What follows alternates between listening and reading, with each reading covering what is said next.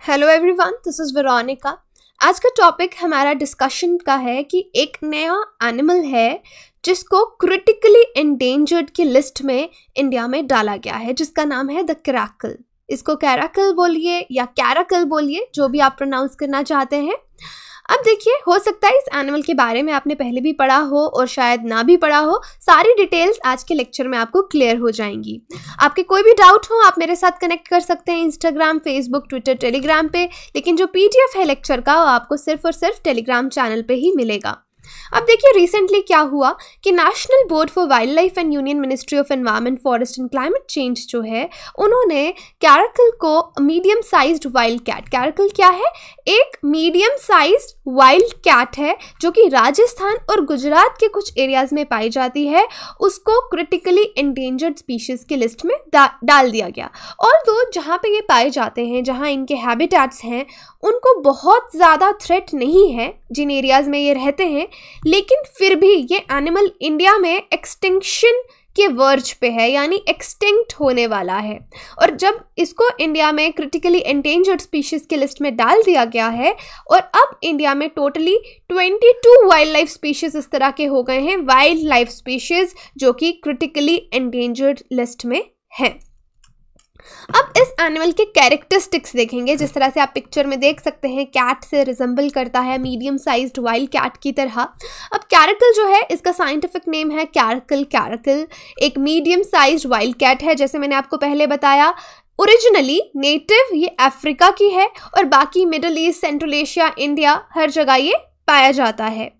उसके बाद characterized by robust build long legs a short face long tufted ears and a long canine teeth ये इसके कुछ characteristics हैं कि जैसे इसकी टांगें काफ़ी लॉन्ग है फेस बहुत छोटा है ईयर्स आप देख सकते हैं किस तरह से बड़े बड़े ईयर्स हैं ब्लैक ईयर्स होते हैं और लॉन्ग कैनाइंस जो टीथ हैं इसके, वो काफ़ी लंबे रहते हैं। अब कोट की बात कीजिए, अगर इसका तो आप देख सकते हैं ब्राउन कलर या रेडिश टैन या सैंडी कलर आप कह लीजिए यूनिफॉर्म कोट है इसका। और scientifically German naturalist John Christian Daniel जो हैं, उन्होंने इसको पहली बार डिस्क्राइब किया था 1776 में।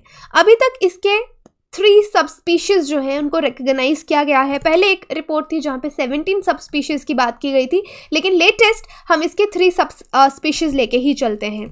इतना मुश्किल इसके बारे में इंफॉर्मेशन डिस्क्रिप्शन क्यों है?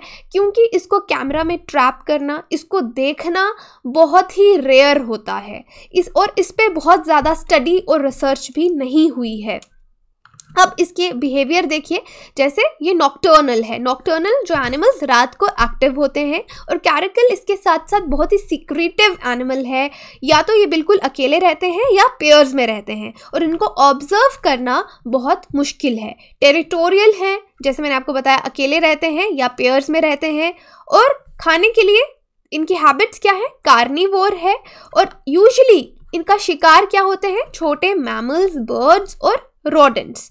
और ये बहुत ही स्विफ्ट माना जाता है कि ये फोर मीटर से ज़्यादा यानी ट्वेल्व फीट से ज़्यादा छलांग मार सकता है, जंप कर सकता है और बर्ड्स को हवा में ही पकड़ सकता है। तो ये सब इस एनिमल के कैरेक्टरिस्टिक्स हैं, अगर आप इसके बारे में पहली बार पढ़ रहे हैं। अब आगे देखिए caracals are not declining in most of the range अब कैरिकल्स जैसे कि बहुत जगह पाए जाते हैं, जैसे मैंने आपको शुरू में बताया, हर जगह इनका पॉपुलेशन कम नहीं हो रहा, लेकिन फिर भी इनकी पॉपुलेशन को कुछ थ्रेट हैं। किस तरह की थ्रेट्स हैं? जैसे इनका जहाँ हैबिटेट है वो डिस्ट्रॉय हो रहा है एग्रीकल्चर की वजह से, या फिर जब मैन एनिमल कन्फ्लिक्ट की बात आ जाती है तो रिटेलिएशन में, क्योंकि ये लोगों ने जो एनिमल्स पाले होते हैं लाइफ स्टॉक पाला होता है उन पर अटैक करते हैं और लोग फिर इनको रिटेलिएशन में मार देते हैं। इसलिए इनका पॉपुलेशन कम हो रहा है। और उसके बाद जितने भी हमारे डेवलपमेंट एक्टिविटीज़ हैं, उससे हैबिटेट लॉस ऑफ़ हैबिटेट है, या हैबिटेट फ्रेगमेंटेशन हो रही है कहीं ना कहीं थ्रेट्स इनकी पॉपुलेशन को रहते हैं। अब ये जो स्पीशीज़ हैं लीगली प्रोटेक्टेड भी हैं अपनी रेंज में, जैसे कि लैंड ओनर्स नाम्बिया और साउथ अफ्रीका में are permitted to kill a caracal when it is considered a threat to their property in areas में आप इनको तभी मार सकते हैं अगर ये आपकी प्रॉपर्टी को कोई थ्रेट थ्रेट दे रहे हैं, खतरा साबित हो रहे हैं अदरवाइज़ इनको मारने की कहीं पे भी परमिशन नहीं है। इंडिया की बात करें तो कैरिकल बहुत सी, इंडिया के साथ साथ और भी बहुत सारे देशों में पाया जाता है, अफ्रीका में, मिडल ईस्ट के देशों में, उसके बाद सेंट्रल और साउथ एशिया में। अब देखिए, अफ्रीका में इसकी पॉपुलेशन बिल्कुल नॉर्मल है, लेकिन एशिया में इसकी पॉपुलेशन धीरे धीरे डिक्लाइन हो रही है और इंडिया में भी इसकी पॉपुलेशन का यही ट्रेंड हमने देखा कि पॉपुलेशन इसकी कम हो रही है। अब फिर से इसके बारे में जो मैं आपको बता चुकी हूँ, कुछ रिविजन पॉइंट्स होंगे, लेकिन थोड़ा सा और जानते हैं इस वाइल्ड कैट के बारे में। लॉन्ग लेग्स बता दिया शॉर्ट फेस मैंने आपको बता दिया। ईयर्स इसका याद रखिए कि ब्लैक ईयर्स बोला जाता है जिस तरह से आप इनके ईयर्स को नोटिस करेंगे, काफ़ी प्रोमिनेंट ईयर्स आपको इसके दिखेंगे। अब कैरिकल जो वर्ड है, ये कहाँ से आता है? टर्किश काराकुलक जिसका मतलब ब्लैक ईयर्स यहाँ से इसका नाम डिराइव हुआ है। और भारत में अगर आप बात करें, सिया घोष, एक पर्शियन पर्शियन नेम है, जिसका मतलब ब्लैक ईयर होता है। इसको सिया घोष भी बोला जाता है। और कुछ कहानियाँ भी इसको लेकर काफ़ी हमारी पहले से फेबल स्टोरीज जो हैं, वो एग्जिस्ट करती हैं। अगर अर्लीस्ट एविडेंस इस एनिमल का हम इस पूरे सब कॉन्टिनेंट में देखेंगे तो इसके फॉसिल हमको मिलते हैं, यानी इंडस वैली के टाइम से। फिर उसके बाद देखिए फिरोज शाह तुगलक 1351-88 सिया घोषदार खाना वहाँ पे कैरेकल का मेंशन हमको मिलता है, जैसे इंडिया में बताया पर्शियन वर्ड्स या घोष इसको बोला जाता है भारत में। तो खाना यानी स्टेबल जहाँ पे इनको रखा जाता है कि फिरोज शाह तुगलक के यहाँ पे इस तरह के तबेले, जैसे स्टेबल आप हॉर्स स्टेबल बोलते हैं, इस तरह का एरिया बनाया जाता था, जहाँ पे बहुत सारे कैरेकल्स को रखा जाता था। यूजली हंटिंग या स्पोर्ट्स में इनको स्पोर्ट्स हंटिंग पुराने ज़माने में की जाती थी, शिकार किया जाता था, इस तरह के स्पोर्ट्स होते थे जो कि अब की इलीगल हैं, उस समय होते थे, तब बहुत ज़्यादा कैरिकल को उन्होंने एक प्रॉपर जगह में, तबेलों में रखा जाता था। उसके बाद इसका मेंशन कैरकल का। अबुल फजल के अकबर नामा में भी है कि ये हंटिंग में यूज़ होता था एनिमल हंटिंग स्पोर्ट्स में यूज़ होता था। और इसके बहुत सारे डिस्क्रिप्शंस और इलस्ट्रेशन जो हैं कैरकल के, वो आप मिटाइवल टेक्स्ट अगर पढ़ेंगे, जिनके नाम यहाँ पे दिए हैं, वहाँ पे आपको मिलेगा। शाहनामा में भी है, अनवर ए सुहायली। इस तरह से कुछ टेक्स्ट मिटाइवल टाइम के हैं, जहाँ पे आपको कैरकल का मेंशन इलस्ट्रेशन या डिस्क्रिप्शन मिलेगा। अब देखिए कैरिकल को स्पोर्ट हंटिंग के लिए यूज़ किया जाता था। और स्पोर्ट हंटिंग की वजह से क्या हुआ कि जो इसका ओरिजिनल हैबिटेट था, इससे ज़्यादा एरियाज़ में इसको शिफ्ट किया गया। इसलिए ये लद्दाख से लेकर मतलब लद्दाख इन द नॉर्थ से लेकर बंगाल इन द ईस्ट तक आपको ये मिलेंगे। ईस्ट इंडिया कंपनी के जो रॉबर्ट क्लाइव थे, इनको तोहफे के तौर पे कैरिकल दिया गया जब उन्हें सिराजुद्दौला को बैटल ऑफ़ फ्लासी में हराया। तो खैर, ये कैरिकल की बात है कि कब कब उसको कहाँ कहाँ मेंशन हुआ है, क्या इंपॉर्टेंस है। अब इनके डिक्रीजिंग नंबर्स के बारे में बात करते हैं।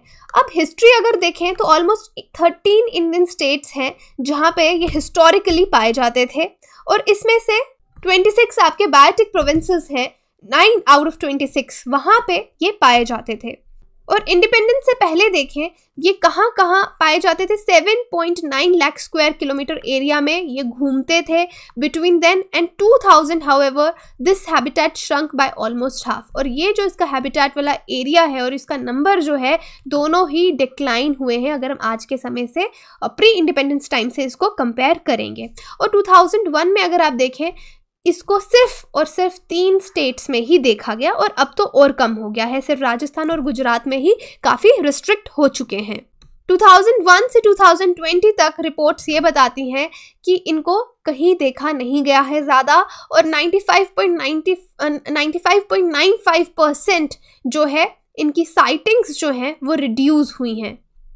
और इससे पहले जैसे मैंने कहा कि बहुत सारे एरियाज़ में पाया जाता था अब सिर्फ़ गुजरात और राजस्थान में है तो जितने आपके एरिड सेमी एरिड एरियाज़ हैं, जैसे राजस्थान, दिल्ली, हरियाणा, पंजाब, गुजरात, मध्य प्रदेश, उत्तर प्रदेश, यहाँ पे देख सकते हैं आप तो हर जगह ये पाए जाते थे। लेकिन अब ये बहुत कम हो गया यहाँ पे पार्ट्स ऑफ़ मध्य प्रदेश लिखा है बट रिसेंटली सिर्फ़ राजस्थान और गुजरात के कच्छ एरिया में ही इसको देखा गया।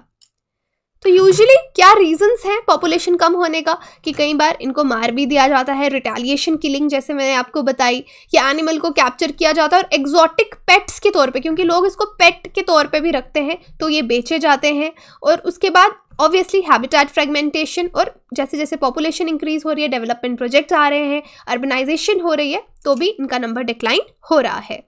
अब देखिए इसको क्रिटिकली एंडेंजर्ड लिस्ट में डालने का क्या फ़ायदा है कि हम इसके कंजर्वेशन प्रोजेक्ट्स जो हैं एफर्ट्स जो हैं, उनको इंक्रीज कर पाएँगे क्योंकि फंडिंग इंक्रीज होगी। जब कोई एनिमल क्रिटिकली एंडेंजर्ड लिस्ट में आ गया तो सेंटर की तरफ़ से उसको फंडिंग उसको बचाने के, उसके उसके लिए कंजर्वेशन एफर्ट्स लगाने के पैसे भी फाइनेंशियल जो हेल्प है, वो भी ज़्यादा मिलेगी।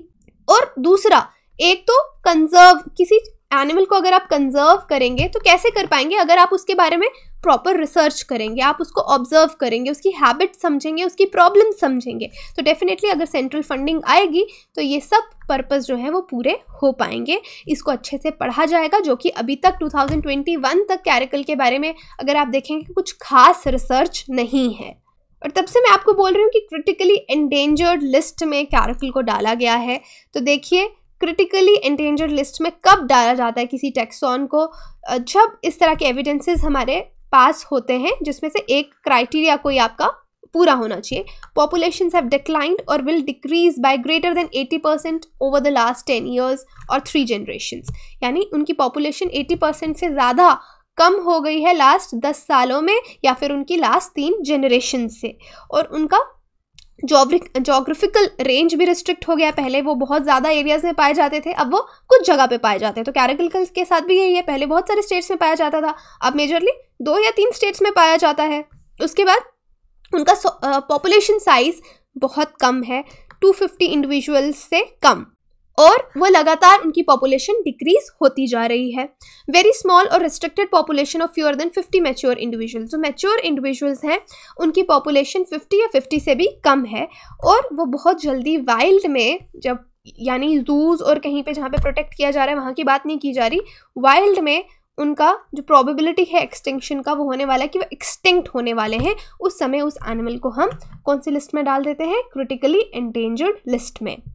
तो जैसे मैंने कहा आप क्रिटिकली एंडेंजर्ड लिस्ट में डालने का ये फ़ायदा होगा, इस पर एक्सटेंसिवली स्टडी होगी, बहुत सारे सर्वेज होना बहुत इंपॉर्टेंट है कैरिकल को लेकर। जैसे कि कैरिकल का पॉपुलेशन साइज़ क्या है? अभी पुख्ता तौर पे हमको ये भी नहीं पता है। रिप्रोडक्शन मॉर्टिलिटी उसके बाद होम रेंज साइजेस इनके क्या हैं? या फिर किस तरह का इनका प्रे डायनामिक्स रहता है? इस बारे में भी बहुत कम knowledge twenty one twenty first century में प्रेजेंट है बट होपफुली अब इस पर अच्छे से रिसर्च होगी। तो यही था आज का लेक्चर हमारा, जहाँ पे हमने कैरिकल के बारे में पढ़ा और आपने भी इस एनिमल के बारे में जाना, इसके फ़ोटोज़ आपको दिखाए कैरेक्टरिस्टिक्स बताए। और क्यों न्यूज़ में है कॉन्टेक्स्ट क्या है, वो हमने डिस्कस किया।